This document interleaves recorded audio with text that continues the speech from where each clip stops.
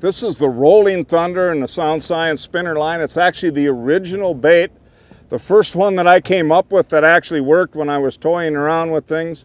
It's got a uh, Colorado blade and a French blade.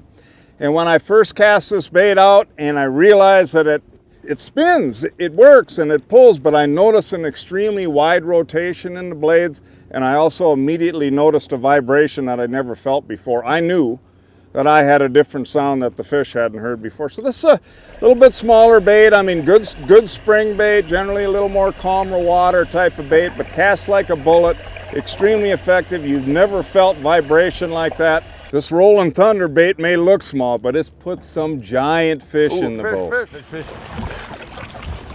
You got him! You got him, Pete! You got him, buddy! nice, nice job on the figure eight, Pete!